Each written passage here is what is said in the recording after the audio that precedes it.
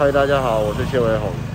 现在时间是下午的六点四十分，六点四十分哦，还是天亮的，所以代表夏天已经快到了。你看这个天色，完全没有暗下来的意思。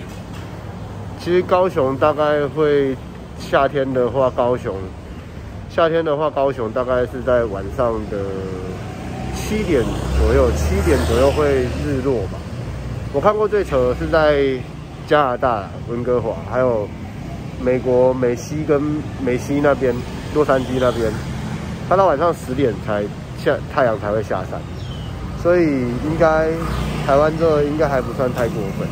我真的觉得我现在头发很乱，然后很长，我想要剪头发，所以我刚刚经过一间理发店，然后我要剃平头。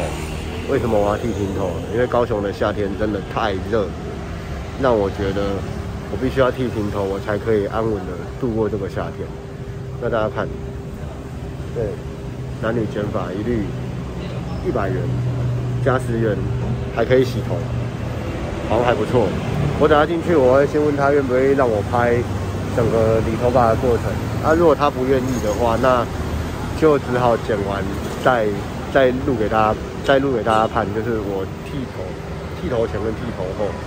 那如果他愿意的话，那整个过程我就会我就会录。不知道人家愿不愿意就是了。没有，我是要给他你用亮一点。呃，没关系啊，没关系。开始了。对，不要担心，就直接录吧。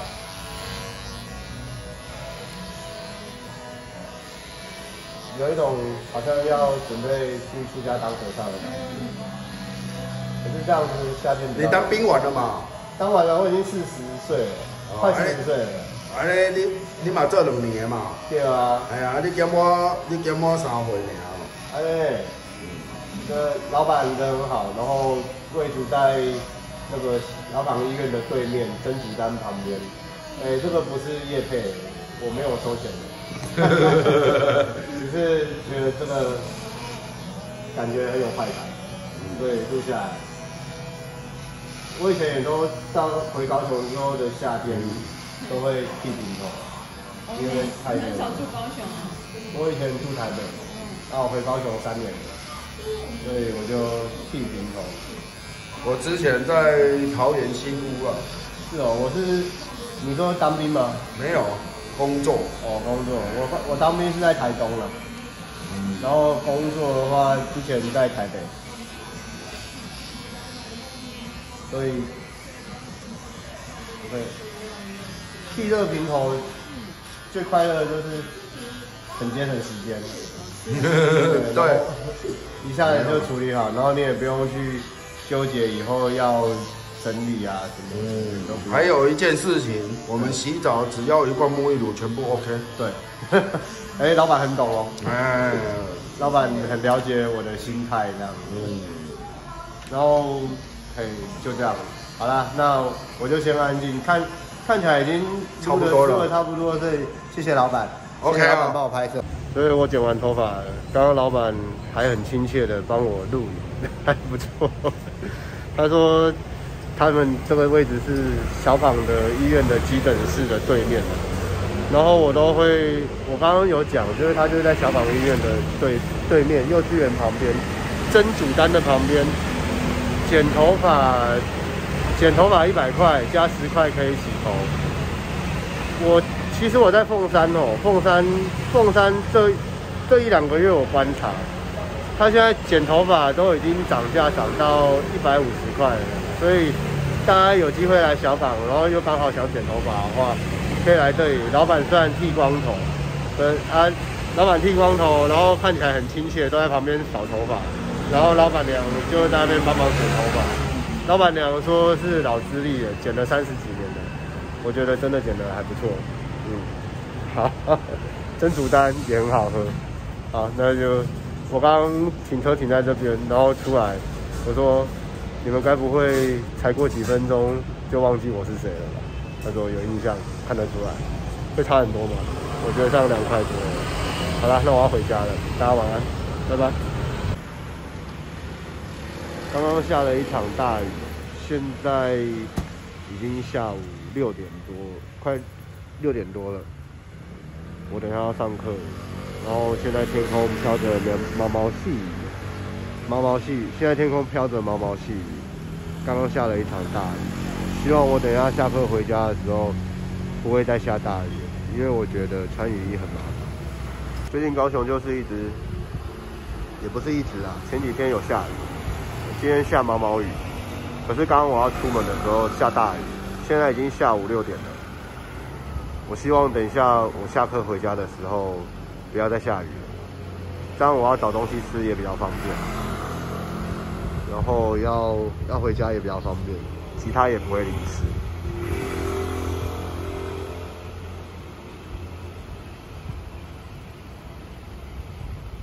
嗨，Hello，大家好，我是谢维宏。首先，今天在影片开始之前，大家会发现我去剃了平头。我必须先，我必须先讲哦，我并不是因为要去服刑，或者是我的心理受到什么很严重、很严重的打击，才去把头发都剃光光。呃，我在影片的前面有放上我剃头发的过程的影片，单纯就是因为我觉得。把头发全部撸掉，然后让它掉下来的那个过程，看起来很有快感，所以跟各位的观众朋友分享。那眼尖的各位朋友们，一定发现今天我没有戴眼镜，为什么呢？我没有戴隐形眼镜哦，我没有戴隐形眼镜。那为什么我要刻意不戴眼镜呢？因为我等一下会放上一些我以前长发飘逸的时候的照片。让大家对照一下，还是不是我本人？那今天我没有戴眼镜，所以我看不清楚，所以我现在要把眼镜戴上。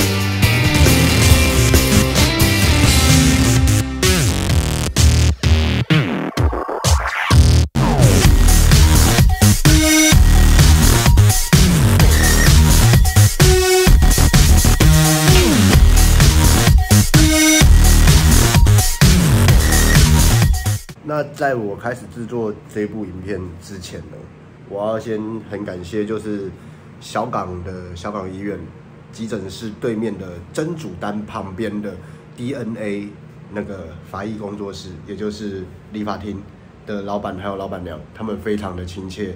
老板帮我拍摄了那个落发的影片，还有呢，就是老板娘帮我很亲切理了头发。呃，我觉得。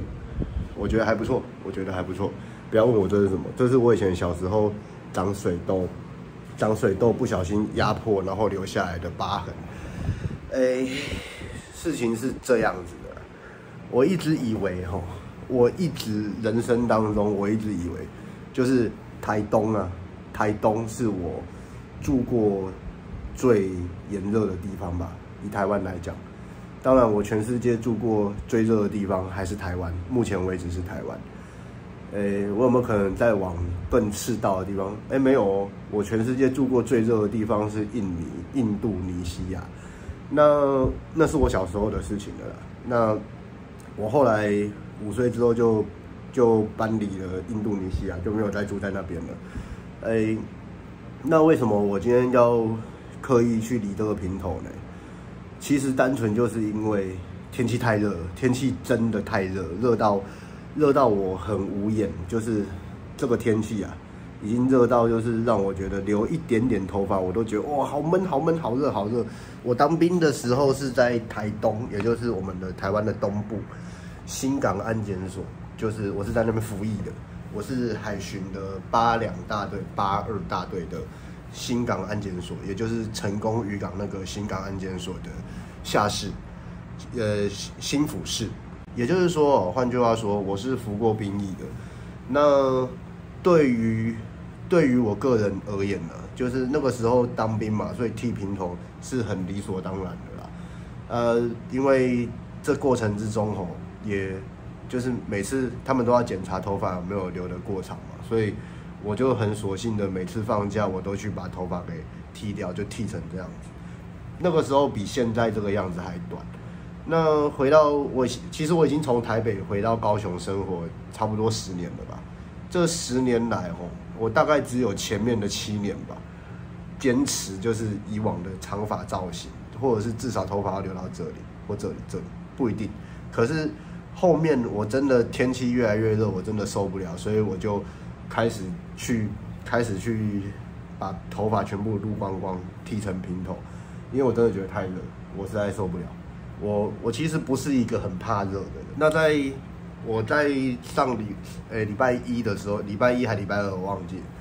我在理头发的过程当中，老板有跟我稍微小聊了一下，他说他觉得男人呢还是要头发撸成这样才帅气这样。我个人我觉得我没什么意见，因为因为我对发型其实没有太挑剔，就是我的人生当中除了留长头发之外。我进去给人家剪头发都是坐在那边哈，请请你自由发挥。到后来我觉得，因为有时候人家发型设计师的那个撸的那个长度，我爸爸妈妈看了也觉得不是很满意吧，他觉得你这样有剪等于没剪。所以呢，我到最后索性都跟他讲说，你帮我撸平头就好。一方面也热了，另外一方面也是觉得我的爸爸妈妈看得开心就好了啦。就是年纪都已经。我的我的年纪都已经那么大，然后我爸妈年纪也都那么大了，就不要再去做一些让我爸爸妈妈觉得不开心的事情。那我要先来说说，就是撸这个平头的几个好处。第一个当然就是像那个就是那个老板说的，我们洗澡只要用一罐沐浴乳就好。可是我其实我还是会用洗发精啊，因为我觉得头头皮的皮肤跟身体皮肤可能还是不大一样。然后再就是洗完头就不用吹头发。可是这个也不适用在我身上，因为我从以前到现在，我就算留长头发，我也没有在吹头发。那再来就是一些笑脸娜的一些比较笑脸娜的话题，就是可能你留这个平头看起来会比较有杀气，或者是跟人家在玩 gay 小趴的时候不会被人家抓住头发一直揍。好，这个都都都其次，都另当别论。我不是要教坏你们，我只是要跟你们讲，就是理这个平头的好处。大概就是一些些好处了，至少你就不用去在意这些。那我当然觉得吼，男生也不用去太去在意你头发的长度，因为我觉得，诶，男生看女生跟女生看男生，他的角度是不一样，或者是男生看男生跟女生看男生角度也是不一样。女生看男生，她不是看你的外表，她是看你的内在的一些气质，或者是你的专业度，或者是。你的一些个性好不好啊，什么之类的，反而是那个你把自己的头发弄得回力龙撩的啊，然后每天三字经挂在嘴边啊，那个好像对人家女孩子而言，她也不太愿意接近你的。虽然我以前就是这样子的。那在我理头发的过程之中，就是老板有跟我聊到，他以为我是要去入伍，所以就是入伍当兵服兵役才去剃平头。我跟他说不是，其实我已经快四十岁了，我已经当过兵。然后老板就说哦。原来你也是当两年的，没有，其实我是当一年半，一年半的。那现在的男生好像不用当兵了吧？啊，最近这两年有恢复台湾男生的兵役，说后面不知道几年后出生的要恢复两年还一年，我忘记了。可是我觉得他有一点很好，就是他把他把那个薪资提高，就是让你觉得在里面你没有太浪费时间。呃，这一点比较好，我跟大家分享一下。我当兵的时候，如果我是一个阿兵哥的话，呃，有分二兵跟一兵。呃，你入伍的前半年你都是二兵，你入伍之后半年之后你自动晋升到一兵。二兵的薪水是五千块一个月，然后一兵的薪水是六千块，六千多了一个月。然后很多人他们会认为说，他们会去算，那我这样换算，我在军营里面一个小时是八块钱的，然后。吃住都军营里面包嘛，当然没有人愿意当兵的。其实有啦，一定有人，应该有人愿意去当兵，可是没有像我们这种义务役的，其实我相信绝大多数都是不太愿意的。那像我，我是士官，那我去入伍的时候，我在入伍的时候，我算是那个梯次，那个那个就是那几梯里面最高学历哦，就是他们，因为我那个时候并不是大专兵，所谓的大专兵就是你们大学生毕业之后，可能那那几个月你们就一起去当兵，然后大家都是有大学毕业的。可是我那个时候入伍的时候，二十年前的啦。应该已经快二十年前，我二十二十岁出头的时候去当的。然后他那个时候我入伍的时候，那个时候我们军队里面吼有高中学历的，真的十根手指头算得出来，就是一整个连队里面。然后他会想要有一些就是士官，就是班长可以去带兵的，所以他就把我硬拉去参加所谓的士官训。那士官训的参加的资格，第一个就是你要。你要高中毕业，所以在那个时候有高中毕业的人哦，就变得非常稀少。我那个时候是大学肄业，我被大学退学，然后去当兵嘛。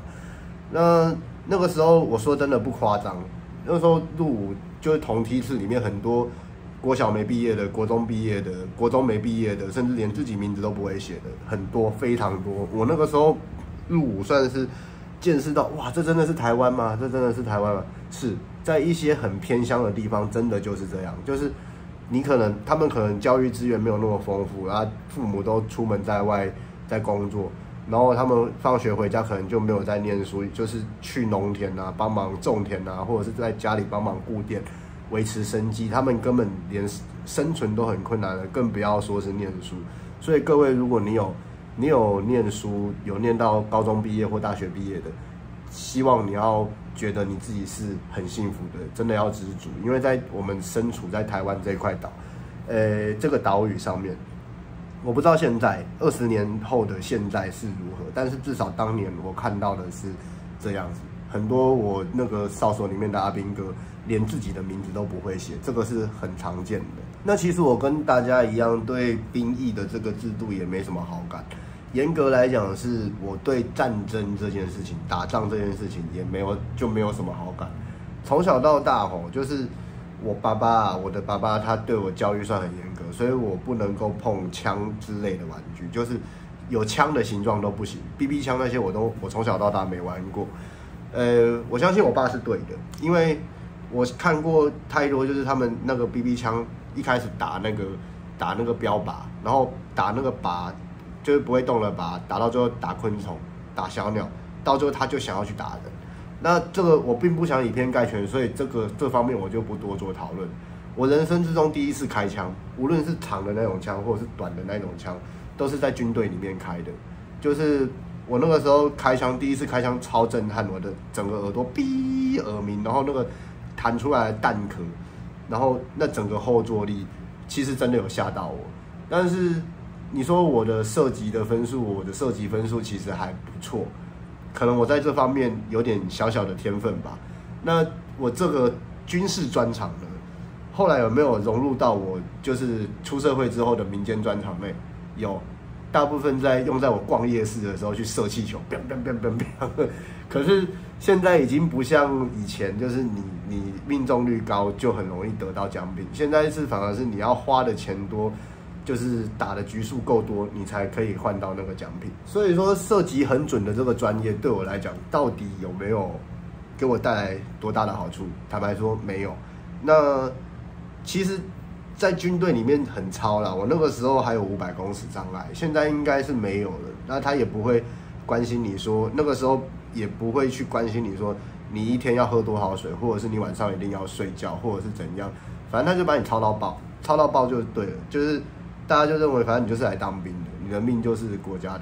里面的长官都是这样认为啊。那所以说，我在入伍之前，我的阿妈、我的外婆，她包了一包很厚的红包给我。然后我以前都是不收我阿妈的红包的，就是我只收红包袋，因为老人家不会赚钱嘛。那个时候我妈妈很反常，她跟我说：“这个钱你一定要收。”我说：“为什么？”因为我妈妈就说，我妈妈她就跟我讲说，因为在以前他们认为当兵是很危险的，你有可能去了就回不来，所以。这个钱你要收，这样。好，那时候我就收下。当下我也不觉得如何，可是我入伍入伍新训结束之后，新训他还算好，他有去保护你，就是保护你的一些正常的生活作息。当你下部队的时候，你面对你的你的长官呐、你的学长那些吼，那些一切的一切很多很无理的要求，你都要把它合理化。那当然是那是那个时代，现在时代已经不一样了嘛。所以我现在会认为是这样，就是那个时候为什么他有需求要征兵，就是把老百姓拉去当兵。你们你们国民党跟共产党之间的战争，你们那个你们在大陆的战争，你撤退到台湾来，你为什么还要拉着台湾人民跟跟你去当当兵，然后反攻大陆，或者是去镇守边界？那个时候我是觉得很不公平，很不合理的。那你有这种感觉就对了，因为战争就是很不公平、很不合理的，所以我们都要去，我们都要去认认认知一件事情，就是战争是不应该发生在这个世界上。无论我们的未来是怎么样，我们都不应该再让战争这种事情发生。也就是说，我们每个人都要去支持反战，然后都要，我是呼吁大家支持反战的。但是也反战也不是说让大家让别的政权啊、别的国家来欺负我们，这样就是就是我们要反战，然后要和平，因为我们去当过兵，我们认知到就是战场上面它就是不合理的、不公平的，一切都是不合理的。你发生什么也都是你都要当做很正常的，它就是发生了。那说到全世界的政权的争夺呢，我个人非常推荐副监，就是推荐每全世界的所有的执政者、参政者，或者是想要执政的、从政的人人们出来，就是按照富坚义博老师的提供的方案，就是在《悠悠白书》后后面《魔界统一篇》里面，他使用的魔界武术大会，就跟整个广大的魔界一样。你想要当老大的人，我们每三年定期，大家来集集合在一起，然后单挑，就是采那种淘汰赛的单挑的制度。那一对一单挑，赢的人当老大，赢的人说了算。这三年里面，赢的人他可以做任何他想做的事情，然后别人都不可以干预。然后三年之后，大家再打一次，打完之后再来当老大，就是换一个人当老大之类的。你可能会说这样的方法很野蛮，可是我觉得这个就是就是一个很和平的处理方法。你你想要争夺政权，你为什么要拉着别人去打仗呢？你为什么要拉着不相关的人去打仗呢？你要你要争夺政权，你要自己亲自去打，亲自去亲自去拿回来啊！所以一对一单挑，让现在所有的什么美国总统啊、俄罗斯啊、乌克兰总统那些什么总统，好中华民国总统，然后大陆的什么国家主席全部集合在一起，大家大家来个淘汰赛嘛，到最后赢的人就就决定自己的政权，然后。我觉得我这是干话，我刚刚讲的那个绝对是干话，但是我并没有很认真的在讲这件事情，所以大家也就听听就好。但是你不觉得我讲的有道理吗？你们想要用战争来拿到政权，或者是用煽动人民，或者是用一些很不文明的方式，什么建立什么什么价值观啊，建立种族对立啊之类的，都巴拉巴拉巴拉很多方方法太多了。那你们为什么不聚在一起？你们就打个架算了，打赢的来当老大这样。那好啦，今天我也只是跟大家分享我剃头的那个的经过，呃，一些的整个过程，我没有受到打击，也没有要去入狱服刑，我也超过了那个国军，就是你你退伍之后出社会，发现你自己好像不太不太适应，过得不好，想要回国签自愿役的年纪了，就是那个。许可年龄范围，所以呢，希望大家今天晚上过得非常愉快。诶，这个影片上传的时候，应该已经是礼拜天的早上了。这个礼拜的状况就是还是一直流鼻水，所以大家会发现我讲话有点吃力，因为就是会卡鼻涕，然后我都要去蹭鼻。就是，可是幸运的是，我的鼻涕最近没有再倒流了，就是比较好，没有一直咳。所以说，所以说非常感谢今天晚上大家的观看。那我是谢维宏，大家晚安喽，我们下次见，大家晚安，拜拜。